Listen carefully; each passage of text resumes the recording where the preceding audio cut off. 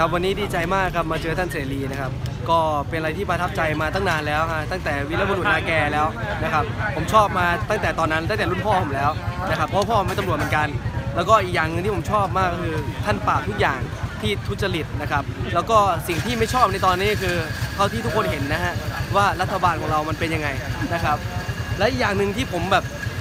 อบท่านมากเลยก็คือ อยากให้ท่านปราบปรามพวกนี้ออกไปนะฮะอย่าให้มันขึ้นมาอีกนะครับรัฐประหารมากี่ครั้งแล้ว ไม่เห็นจะมีอะไรดีขึ้นเลย ทุกวันนี้เศรษฐกิจไม่มีที่อะไรดีเลยนะครับถึงท้ายที่อยากให้ท่านทำนะครับก็คือเอาคอสชชุดนี้ออกไปนะครับแล้วอย่าให้มีคอสชชุดไหนที่เป็นแบบนี้ มาอยู่แบบนี้อีก 5 ปีแล้วไม่เห็นมีอะไรดีขึ้นเลยนะฮะเอาประยุทธ์ออกไป